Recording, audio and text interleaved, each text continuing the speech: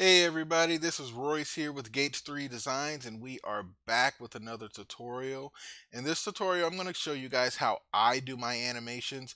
Um, I recently just did an animation for, for work and uh, but it wasn't this exact model um, but I'll, I'll use this model here to show you what I did for someone but um, also I want you guys to know that if if there's anything specific you'd like to know with TheaRender, any tips or tricks or anything like that, just email me at gates3d at gmail.com and you can email me anything or even message me here directly.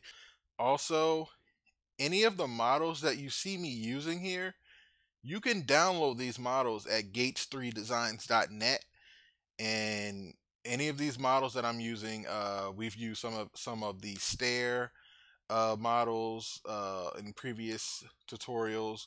Here I'm using this tiny home that I did.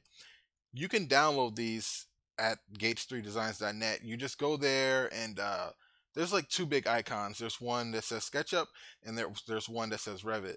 You click on the SketchUp, that's all the SketchUp uh, models that I use that, that I created and they're on that website and you can download them from there. Whether you have an older version of uh, SketchUp or the latest version of SketchUp, you'll be able to use it. Uh, I have it set to where you could you can download it in whatever version of SketchUp you have, you'll be able to use it just fine. Also, we're going to be upgrading to 2.1 TheaRender. So if you're in this course already, if you're in this course already, it's going to be in here. I'm going to put those 2.1 uh, Thea tutorials in here, and they have a lot of awesome, cool updates, and uh, I can't wait to share those with you guys. And uh, you, if you're already a student, you're already in this course. You're, you're set. You're set forever. You know, you're already, you're here.